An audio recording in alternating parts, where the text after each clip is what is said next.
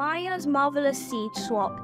Maya was a budding gardener, her fingers seemingly sprinkled with magic. Every seed she planted in her backyard sprouted into vibrant plants. One day, while reading a book about endangered plants, Maya had an epiphany. Some plants were disappearing because their habitats were being destroyed or changed. She thought, what if I could share seeds with friends? More of these plants grow everywhere. Inspired, Maya started the Seed Swap Saturday at her school.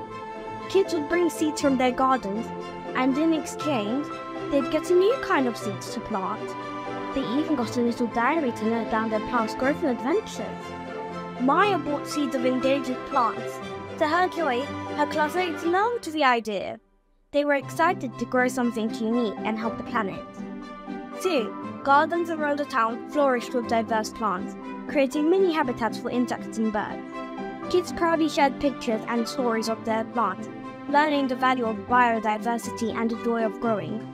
Maya's simple act didn't just green the gardens, it sowed seeds of change, teaching kids that every plant matters, and so does every effort to save them. As Maya often said, in every seed lies a story of hope.